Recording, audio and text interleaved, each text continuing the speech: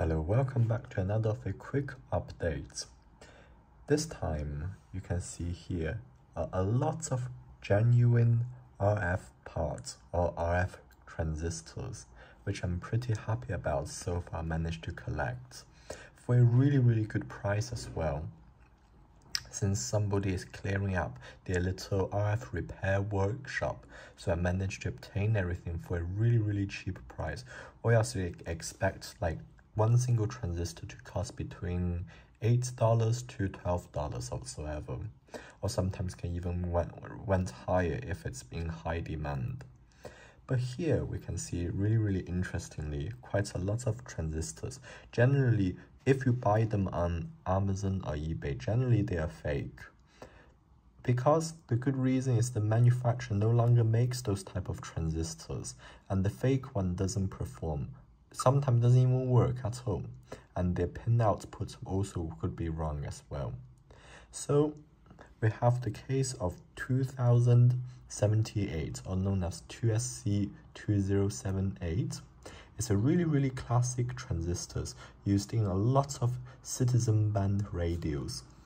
Those radios work on 27 megahertz whereas normal NPN transistor would not be able to switch that fast as there may be some more capacitance or maybe Miller effect that preventing it switching from that fast and distortion might happen. Generally, you want your transistor to work way below the cutoff frequency in order to achieve maximum efficiency. And here will be the 2SC series made by the famous Japanese Mitsubishi, as also the RD series of their the RF MOSFETs. And here we also have the NEC, also a really famous Japanese electronic companies. They also makes good transistors as well here.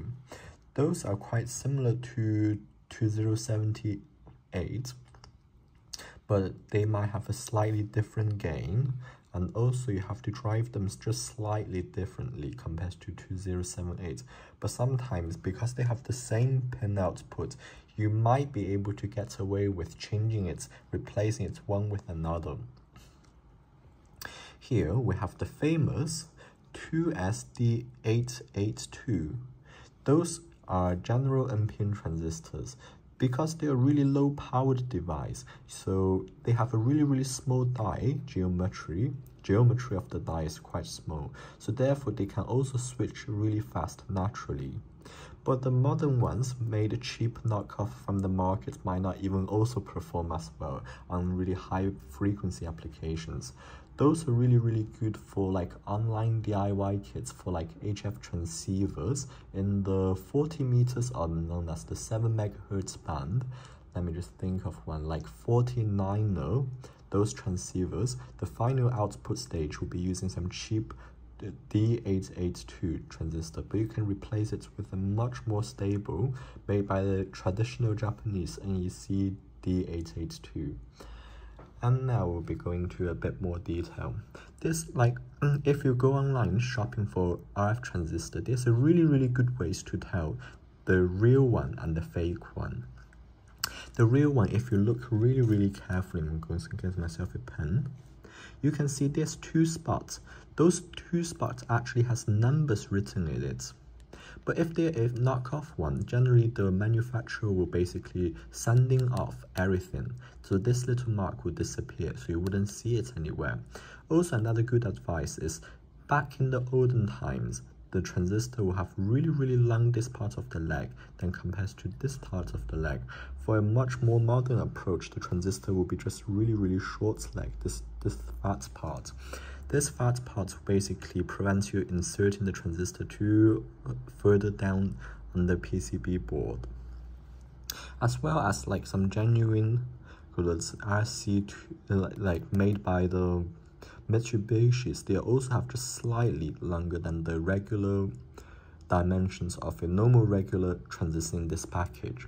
Actually, this package is really, really similar, but just the 2SC made by the Mitsubishi is generally just slightly, just slightly shorter in the with the width. Another good way is to search up their data sheets. For example, this is Sanyo. So Sanyo makes all their 2SC2078. A lot of people also use this to make EMP jammer, basically a waste of this transistor as well in a certain degree. But you can see here, Sanyo gave you the right description about each leg length. How long should it be? Also the leg width. You can use yourself a micrometer to figure out the width of the leg, also the entire thickness, and the metal part is also a really good indications. And those two rings basically tell you where the marking injection hole will be for the transistor. And another really, really good way to tell apart from fake RF transistors is simply turn them over. You can see they have a pinched off shape for the Sanyo's production. For Mitsubishi, it's a bit funny, this looking shape. Really, really thin width of black plastic insulator. As well for the RF FETs. The good thing is that you need to be careful with the gates of each MOSFET since they're easily damaged by static electricity. You can see how short are each of the black parts. Don't worry if they look old, they will work normally. As long as they have a correct like measurements on a transistor tester, they will work just fine. As well as for the NEC, they also look quite funny here. You see, two little half semicircles with a cut off point.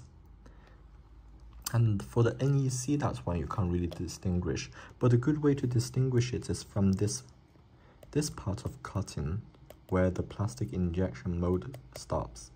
Also, you can look, NEC instead of cutting or engraving their marking, they use a special type of ink that's coated onto the transistor and baked it onto it so you can rub off with the regular isopropyl alcohol as well as for the Mitsubishis. But for Sanyo they basically laser engrave I'm not sure how managed to etch it onto the plastic. But you can see the surface is a, a slightly matte shiny surface. You can easily tell apart the one that is fake. By looking through the sides the sides is generally the side that will never get sanded and if they have the same reflection between the face and the sides, and you can look carefully on the edge, if you can't find any ir irregularities, then generally means this transistor is not being sanded off. And this is the real genuine parts. Also, I've managed to test it as well. It works perfectly well in genuine RF applications. You might ask me, why do I need so many RF transistors? It's a good reason because I like to test all sorts of RF amplifiers. I also like to destroy them as well with a wrong impedance matching to see why do they get destroyed for whatever reasons and how how SWR resistant are they. Basically, this is a classic CE amplifier. Depending on how well you tune the final part and how hard you drive the amplifier. Basically, if it's drive normally, it will reach class C amplification. If you drive them really hard, it will reach class E amplification, which is much more efficient. And there will be the filtering part, that each of the LC values actually depending on the frequency you're intended to use the device at. And for MOSFET, it's even more funny. You have to provide some bias the bias will also get filtered since you don't want to introduce like RF harmonics into your other electronic parts, which they might not like it. But with a simple amplifier circuit, including transistor one, I can basically showing you how does it work. First, the inputs of any amplifier transistor, they basically have a different impedance to the Z equals 50 ohms, basically impedance equals 50 from your inputs.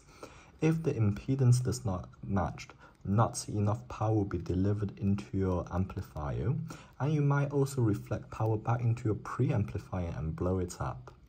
But if you match the impedance well with the transistor or whatever device amplifying, it can be an amplifier chip or whatsoever. If you match the impedance well, that means maximum power will be delivered into the driving device. As transistor itself, made from a silicon die and have some bonding wire, the silicon die itself introduces capacitance and the little bonding wire will introduce inductance, which will be resulting in capacitive reactance and inductive reactance. They will not be cancelled out perfectly. So in this case, we will be building up this network to cancel out either the Z from the capacitive reactance, or XC, or the inductive reactance from XL. Including from the output stage, the impedance is also not equals to 50 ohm, which we have to match the impedance to our feeding line. If the impedance does not match, then the power will reflect right back here and probably destroy the transistor if you run the VCC just at its rated voltage. One good way to sometimes prevent blowing up the transistor is to underdriving it and underpowering it. So sometimes when the reflected SWR coming back at the transistor, it doesn't blow it up. And for the MOSFETs, the RD50s or the RD60s used for the HF applications. If you use the RD50s, use it for VHF and UHF only. Because if you want to do HF, a lot of time you can get very easily with some really genuine gardening parts transistors, such as RF510, those parts you can obtain it easily from Mouser, Farnell, or all sorts of reliable distributors, not from Amazon or eBay, because you don't know what parts you're actually getting. With those parts, with a like a RF like 510, you can just basically build whatever amplifier you want and basically have a really really high voltage rating so it's kind of hard to destroy those type of MOSFETs but bear in mind they can still get destroyed easily if the impedance doesn't match well also the feeding voltage is also really high basically means the entire circuit working in really high power applications but MOSFETs from like genuine RF MOSFETs are much more delicate with not enough matching. Generally, if you get like a 2.5 to 1, sometimes the transistor can get damaged just that easily. But if they're a good transistor and, and you didn't overrun it, in theory it can withstand like a 4 to 1 uh, or SWR ratio.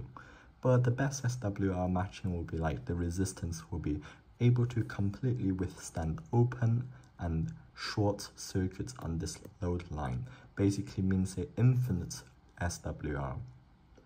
And for the testing series of the D882, basically be used for some small, smaller power generations, generally up to 3 watts, can also get damaged really easily from mismatched load. Because we are pushing actually pushing the voltage to its rated voltage for this device because when you're building the amplifier the voltage reflects back sometimes can reach like three times to five times of its actual rated voltage if it's running at class E. But for class C generally you will run up to two times the input source voltage. It can run up to but just de uh, just depends on the case on how bad is the reflection. Anyway, hope you enjoyed this video and so I shall see you in another of my new videos.